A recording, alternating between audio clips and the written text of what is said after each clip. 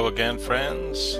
Here we are back again in the Living in Faith Everyday podcast, the Life podcast, and we're working together through the series I've entitled 66 Books.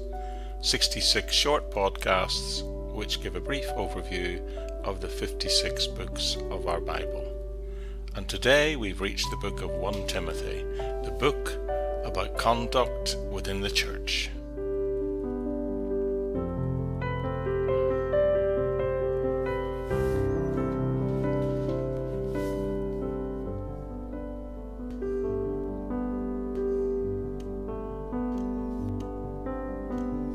First Timothy is one of what is often referred to as a pastoral epistle. This expression originated in the 18th century. There are two other pastoral epistles. They are 2 Timothy and Titus. First Timothy has also been called by some a leadership manual for the church. The view of the author is very straightforward. The opening verse declares that Paul is the author and historians and church tradition supports that view.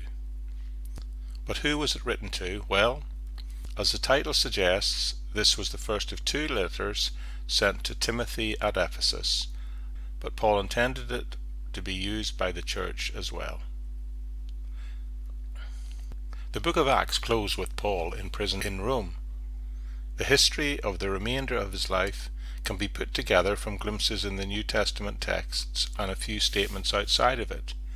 Apparently, he was released from his first Roman imprisonment. He anticipated that, we know that from his writing, and the pastoral epistles also show that expectation. He probably sent Timothy to Philippi with the good news of his release as he'd promised he would. After that, he went and visited other churches in the area, perhaps Colossae and a few others. When he returned to Ephesus, Paul found false teaching there, as he'd predicted in Acts 20, verse 29 and 30. He personally dealt with the leaders of that trouble, but anticipated fully that there would be further difficulty to come. When he left Macedonia, he had put Timothy in charge in that situation. Once he saw that he was going to be delayed in his return there, he decided to write 1 Timothy, possibly from Philippi in 62 AD. From what is, is, said, 1 Timothy as well as 2 Timothy and in Titus, it is evident that some people there were going into the genealogies of the Old Testament and constructing false fables about themselves based on them.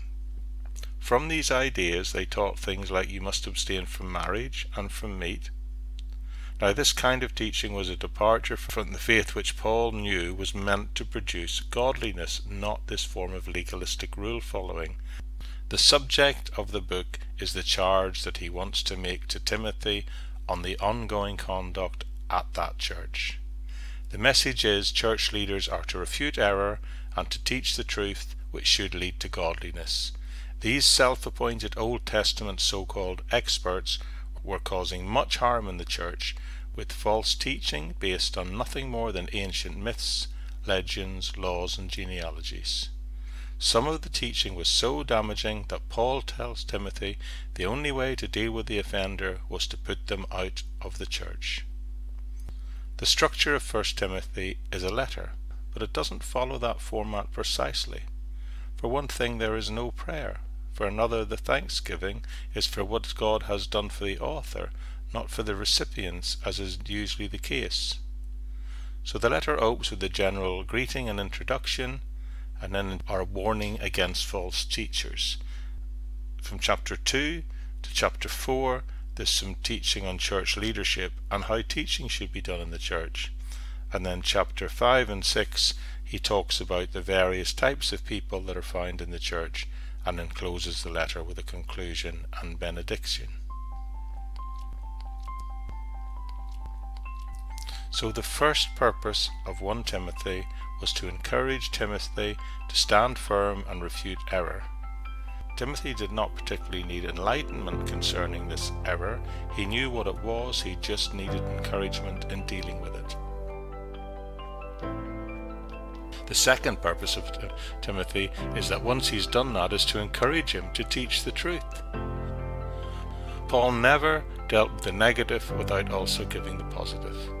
He wants Timothy to stand up against error, but he also wants to encourage him to teach the truth. The truth in this case is the doctrine spelled out in this letter, a true faith which leads to a pure life and a good conscience which leads to godliness and love. So in summary, Paul writes to Timothy to charge him, to inspire him, to stand up and refute error, but also to teach the truth. A truth which leads to godliness, a truth which produces faith, a truth which results in a pure heart, a clear consciousness, an expression of true godliness and love.